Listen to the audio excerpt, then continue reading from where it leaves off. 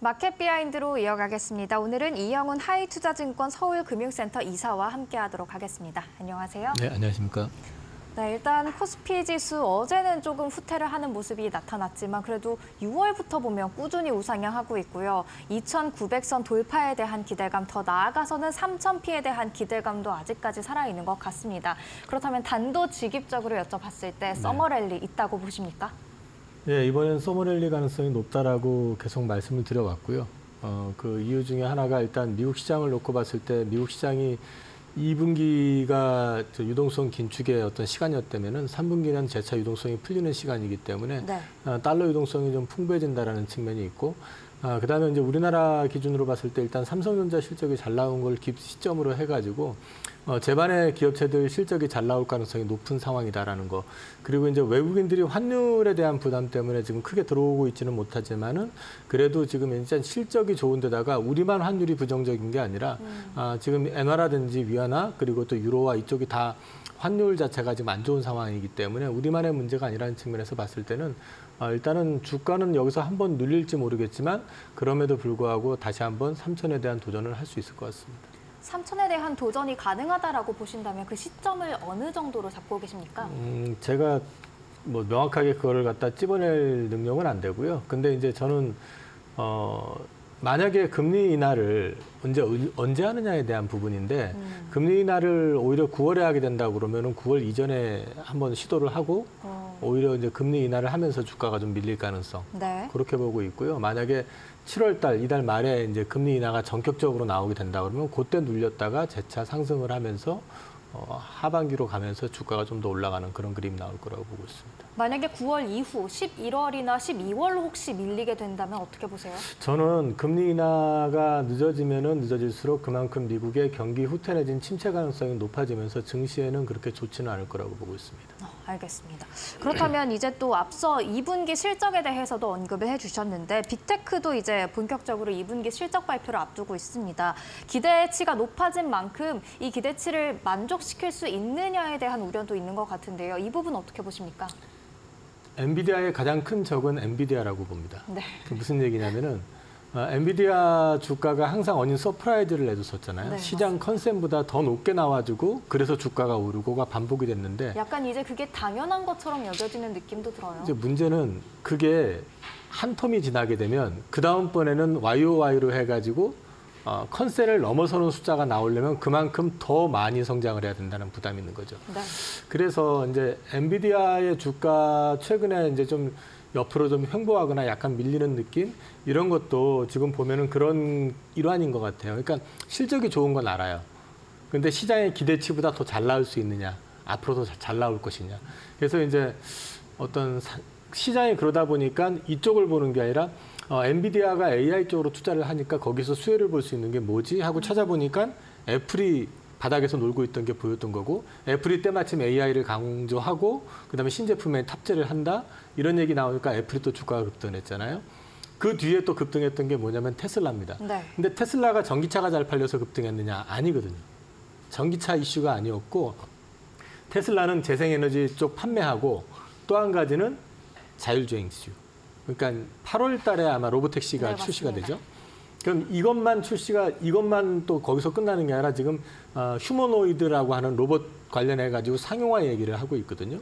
이거 역시도 또 AI하고 연계가 되는 겁니다. 그러니까 이런 쪽으로 도는 거거든요, 지금. 그 오늘 아침에 주가를 보니까 인텔이 주가가 올랐어요. 네. 이 얘기는 지금 어, 고점권에 있는 그 엔비디아 실적이 좋을 거는 아는데 어, 예상보다 더 좋아질까 이 부분을 확인을 하고 싶은 거고 그러면 상대적으로 좀 덜 올라 있는 편안한 주식들 중에서 실적이 좀 개선된 걸 찾아가는 그런 흐름이라는 거죠. 그래서 저는 뭐 실적에 대한 전망, 노이즈 이런 거는 잘 나올 거라고 보기는 해요. 근데 이제 그게 시장의 컨센보다 얼마만큼 잘 나오느냐에 따라서 주가의 상승의 기울기가 달라질 거다. 근데 저는 지금부터는 엔비디아가 이전처럼 급격히 올라가는 것보다는 좀 상승의 추세가 기울기가 조금 완만해질 것 같다. 그럼에도 불구하고 시- 주가의 흐름 자체는 그렇게 부정적일 것 같지는 않다라고 좀 보고 있습니다. 그 젠슨 황과 제프 베이조스가 보유하고 있는 주식을 팔았거나 아니면 팔 계획이다라는 그런 보고를 제출했는데 네. 이 부분에 대해서는 혹시 고점 우려라고 생각을 하시나요? 어, 항상 이제 그 경영자들이 오너들이 주식을 팔면 고점일 가능성에 대해서 우려를 하잖아요. 네. 음, 많이 올랐을 때 주식을 팔고 싶은 거는 당연한 욕구인 거고요. 그리고 이게 계획에 있었던 일환으로 저는 알고 있고, 그리고 또 그들 입장에서도 고점을 자기네들이 인지하고 팔았을 거라고 생각은 안 합니다. 어, 그렇기 때문에 지금은 어, 이전보다는 확실히 많이 올라 있구나라는 걸 갖다가 보여주는 시그널로 저는 보는 거고요. 음, 지금 당장의 어떤 흐름을 갖다가 방해할 정도의 그 정도 물량은 아니라고 보고 있기 때문에 음, 이전보다 많이 올랐기 때문에 앞으로 올라가기 위해서는 더 많은 실적을 요구할 것이고 그런 부분들이 시장, 시장의 눈높이에 맞아지느냐 안 맞아 안 맞느냐를 갖다 시장이 봐가면서 대응을 할 가능성이 있다라는 측면으로 이해를 하셔야지 팔았기 때문에 고점이다 이렇게 보시는 건 아닌 것 같아요. 그렇다면 CEO의 매도보다는 실적이 앞으로 중요시해야 네. 하는 흐름 이어질 것 같습니다.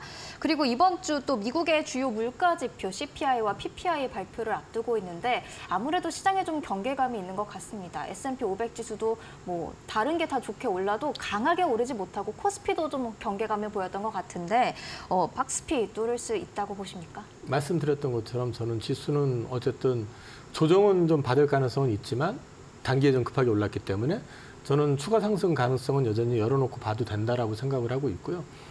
음, PC 지수에서도 확인을 했지만은 이 물가 자체가 여기서 급격히 돌아서 가지고 다시 재차 상승하는 거는 어, 그동안 나왔던 지표들 가운데서 그 PPI라고 그래가지고 제조 물가 지수 같은 경우도 계속해서 하향 추세를 보여왔었고 그 다음에 소비 관련된 지표들 역시도 좀 톤다운이 되고 좀 약간 수축되는 분위기 그리고 여기에다가 이제 제조와 관련돼 있었던 부분들 ISM 제조업 지수라든지 비제조, 비제조업 지수라든지 이런 어떤 재반 지표 자체들이, 자체들이 경기가 어쨌든 쿨다운되는 느낌을 좀 갖게 해주고 있는 상황에서 금리가 급격히 아 저 물가가 급격히 오를 가능성은 좀 제한적이라고 놓고 본다 그러면 CPI도 지금 시장 컨센이 3.1입니다. 네. 그럼 예상보다는 쪽, 그러니까 예- 기존보다는 조금 낮아지는 그림은 어쨌든 확인되고 있는 거기 때문에 이걸로 인해 가지고 증시가 크게 조정을 받거나 그럴 것 같지는 않고요.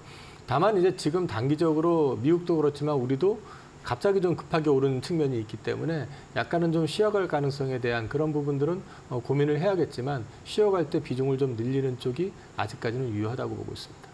비중을 시험할 때 좀 늘리는 편이 유효하다고 보신다라고 답변을 해주셨습니다.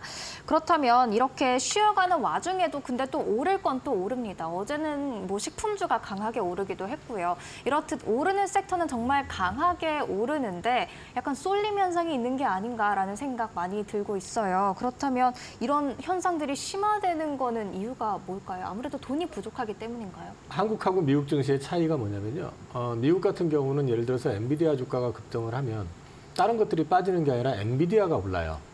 그리고 엔비디아가 조정을 받고 조정을 받거나 옆으로 기면은 예를 들어서 테슬라가 올라간다 그러면 엔비디아가 급락을 하는 게 아니라 테슬라가 올라가는 거지 옆에 있는 주식들은 멀쩡합니다. 네. 근데 우리나라 증시는 보면은 지금 반도체가 올라가면 나머지 주식 다 빠집니다. 네. 그런 패턴이 계속 반복되고 있잖아요. 그건 내부적으로 수급이 지금 부족해서 그래요. 한마디로 말해서 매수할 수 있는 신규 자금 유입이 둔하고 있- 둔하다 있다는 상태거든요. 네. 근데 그런 이유를 찾아보면은 일단 내부적으로 아 증시가 좋아질 것 같기 때문에 주식을 사야겠어 하고 새로운 돈들이 많이 들어올 어떤 상황도 좀 되는데 그게 들어오는 게 문제가 아니라 오히려 주가가 좀 반등을 해버리면 여기서 주식을 팔아가지고 나는 미국장으로 넘어가겠다라는 사람들이 많습니다. 그러니까 신규, 자금도 잘 안 들어온 데서 여기서 또 기존에 국장에 투자했던 분들이 아, 미장으로 넘어가시는 실제로 그런 분들이 제 고객님들 중에서도 계세요. 그러니까 이런 흐름들이 나타나기 때문에 지금 우리나라 주식은 어, 철저하게 지금 막혀 있는 거죠.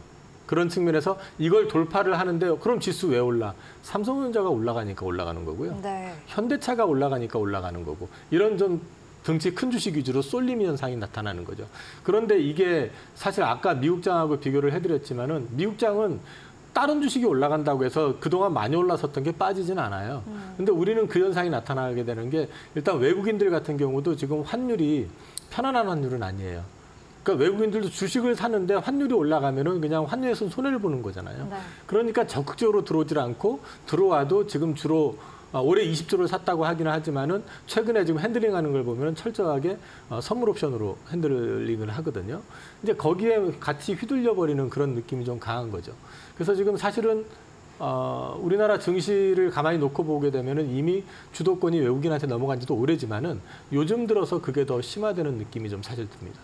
그렇다면 수급이 개선이 되려면 외국인이 들어와야 되는데 그러려면 환율도 어느 정도 하락, 안정화가 돼야 되겠네요. 한국 증시에 대해서 투자 메리트를 그만큼 더 키워줘야 되죠. value up이 그리고 그러면 value up도 영향을 줘야 되겠지만 은 그것보다도 한국 투자자들, 국내 내국인들이 한국 증시에 대한 더 믿음을 가질 수 있고 확신을 가질 수 있는 여건을 만들어줄 필요가 있다. 그 중에 하나가 value up이 될 수도 있을 거고요. 또 한 가지는 미장 대비해 가지고 우리나라 증시에 지금 상장돼 있는 기업들의 거버넌스 문제라든지 이런 것들이 clear하지 않은 상황에서 어, 세금과 관련돼 있는 부분들 금투세 이슈가 계속 부각이 되고 있잖아요. 네. 실제로 지금 개별 종목들을 보면은 이 와중에 신저가 종목이 계속 속출하고 있거든요. 그럼 이 개별 종목들이 신저가가 나온다는 얘기는 특히 코스닥 쪽에서 보면 그런 게 많이 나오는데 이 얘기는 거꾸로 말하면 개인 투자자들은 지금 사서 물려 있는 분들이 훨씬 더 많다는 얘기입니다. 그러니까 그러니 당연히 한국 주식하면 진절머리를 낼 수밖에 없는 거죠. 그래서 이런 부분들은 조금 어, 늦기 전에 정책적인 부분에서 좀 고려를 해 주셔야 될 것 같습니다. 정책적인 부분까지도 저희가 생각을 해봐야 될 것 같은데 마지막으로 한 가지 질문을 드린다면요. 삼성전자가 오르니까 지수가 오른다라고 설명을 해주셨어요. 삼성전자 그만큼 최근 좋은 흐름 보여주고 있는데 이런 삼성전자를 필두로 다른 중소형주, 특히 뭐 반도체 중심으로 같이 함께 오르는 그런 분위기가 마련되려면 어떤 조건이 먼저 해결이 돼야 할까요? 사실 이제 중소형주 쪽이 올라가려고 그러면 투자의 사이클이 재개가 돼야 되거든요. 그런데 이제 지금 보면은 그 HBM으로 다 집중이 돼 있는 상황이잖아요. 네. 거기다가 이제 삼성전자 같은 경우는 어찌됐든 퀄 테스트 통과 문제 이슈, 엔비디아 향 쪽으로 물론 엔비디아를 제외한 나머지 쪽으로는 물건이 나가고는 있지만 비중 자체가 엔비디아가 워낙에 크기 네. 때문에 어, 이게 이제 중요한 이제 화두가 될 것이고 어, 그래서 삼성전자 퀄 테스트 통과했다라는 그 단독 기사 나오면은 보면은 주가가 급등하는 장비 주식들이 있어요. 그런 쪽은 이제 수주에 대한 기대감이 있다라는 얘기거든요. 만약에 통과가 돼가지고 설, 이제 설비 투자가 이루어진다면 그쪽은 관- 당연히 관심을 받을 거고 또 실적으로 반응을 받을 거고 이제 그런 걸 볼 수 있을 거고 어, 최근에 지금 삼성전자 뭐 HBM을 차치하고 놓고 보면은 그 legacy 제품들 shortage 얘기가 계속 나오는데 네. 그게 수요가 늘어서라기보다는 공급이 줄어서 이제 쇼티지가 나는 그런 현상이거든요. 네. 어, 근데 이제 그 맥락을 놓고 봤을 때, 그 어저께 기사를 난 걸 보니까 키옥시아가 이제 랜드 쪽 가동률을 100%로 이제 정상화 시킨다고 하거든요. 그럼 삼성이나 하이닉스에서 그 랜드 가동률 자체를 그동안 가동률을 좀 낮춰왔었던 거를 갖다 회복을 시키고 있지만은 여기도 마찬가지로 거기에 보조를 맞출 가능성이 있다라는 거죠. 그렇게 놓고 보면은 아, 소재 쪽 오히려 그런 쪽에서 어, 관심을 좀 가져볼 만한 것들이 나오지 않을까 그렇게 보고 있습니다. 네, 소재 쪽까지 한번 주목을 해보면 좋을 것 같다라는 이야기를 해주셨습니다. 더 질문 드릴 게 많지만 시간 관계상 아쉽게도 여기서 마무리 짓도록 하겠습니다. 지금까지 이영훈 하이투자증권 서울금융센터 이사와 함께했습니다. 말씀 감사합니다. 네, 감사합니다.